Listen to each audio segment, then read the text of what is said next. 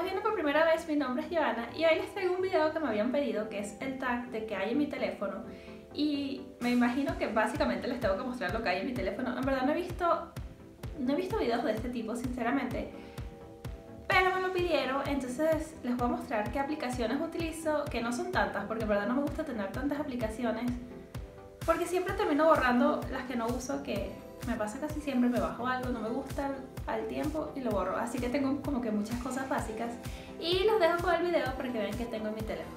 Y este es mi teléfono, estoy usando este forro que es como dorado y me encanta, en verdad es mi favorito de ahorita.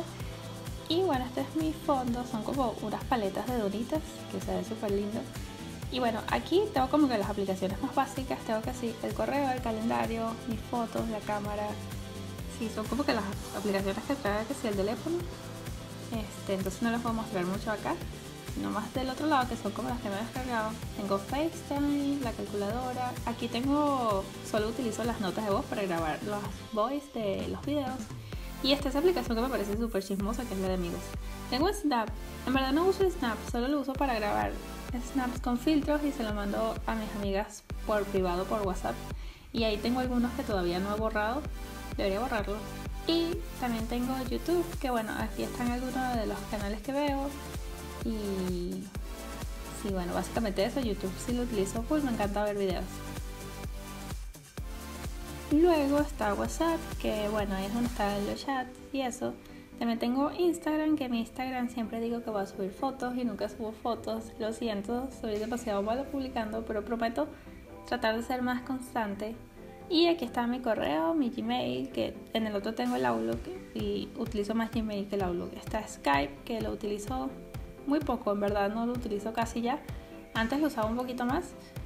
Y tengo Netflix, que es raro que lo utilice por el teléfono, en verdad lo uso casi que cuando me voy a dormir y no tengo tanto sueño, entonces pongo algo como para que me dé sueño.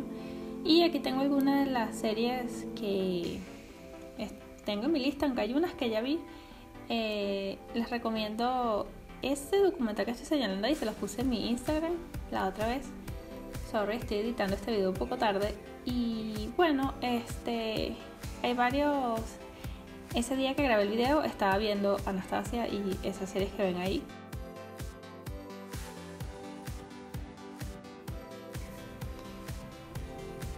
Y bueno, en verdad hay muchas opciones, siento que me falta ver muchas series.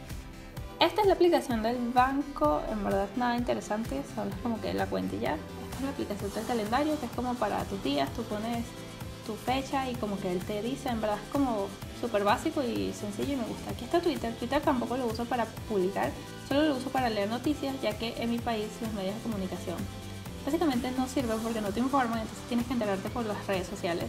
Entonces gracias a las redes sociales eh, me puedo informar de qué está pasando.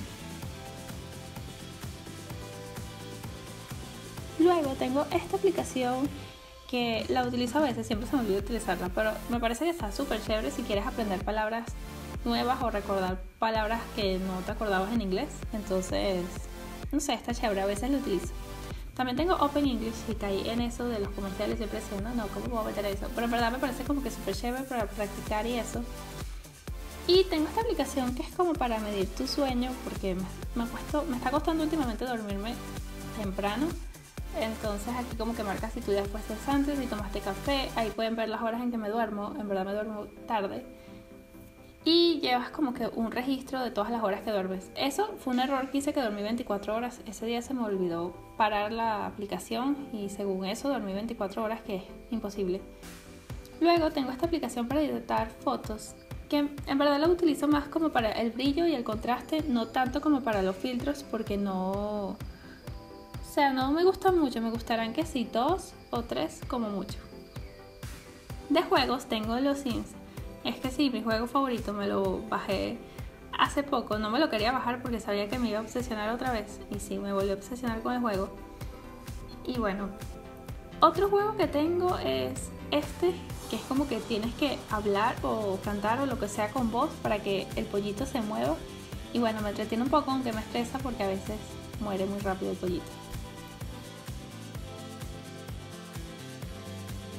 Bueno, aquí tengo la aplicación del cine que cuando estaba grabando el video me dejó mal porque nunca terminó de cargar. Eso se me olvida a veces de esta aplicación, que a veces no termina de cargar, pero básicamente es donde puedes ver la cartelera y me gusta tenerla ahí. Y de resto no tengo nada, si vieron, mi teléfono es súper básico, no tengo tantas cosas, pero son las cosas que siempre utilizo. Y esto ha sido todo por el video de hoy, espero que les haya gustado este video. ¿Me pueden recomendar alguna aplicación para editar fotos? Porque como vieron solo tengo una. Y es que les voy a dejar por aquí imágenes de las que me he descargado, pero en verdad no me han encantado porque, no sé, los filtros no me terminan de convencer. Aparte que la mayoría tiene que ser todos los filtros son pagos, entonces, no sé, no hay una que sea bonita y tenga filtros bonitos. Si la saben me lo dejan en los comentarios. Y bueno, esto ha sido todo por hoy. Los quiero mucho, les mando un beso y nos vemos en un próximo video.